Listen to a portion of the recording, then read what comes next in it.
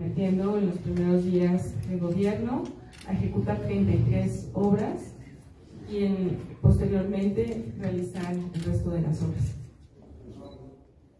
Lupita, en tres puntos abarcas eh, temas del agua, un problema que está afectando no solamente a Puebla, sino a todo el mundo. Vemos que empatizas mucho. Si me puedes platicar un poquito más de qué consiste, por favor. Sí, creemos el proyecto del agua, sobre todo porque lo que queremos es generar pozos de absorción, una red de pozos de absorción, que es muy importante seguir alimentando nuestros mantos acuíferos. ¿Y cómo lo vamos a hacer?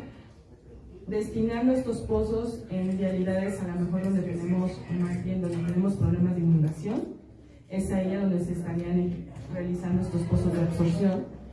Y bueno, yo me estaría comprometiendo con 30 pozos de absorción para poder dar atención al problema de agua que tenemos sobre todo porque la mayoría de la gente de cabecera y de algunas juntas auxiliares todavía ocupamos pozos. Por eso la importancia de, generar estos pozos de absorción.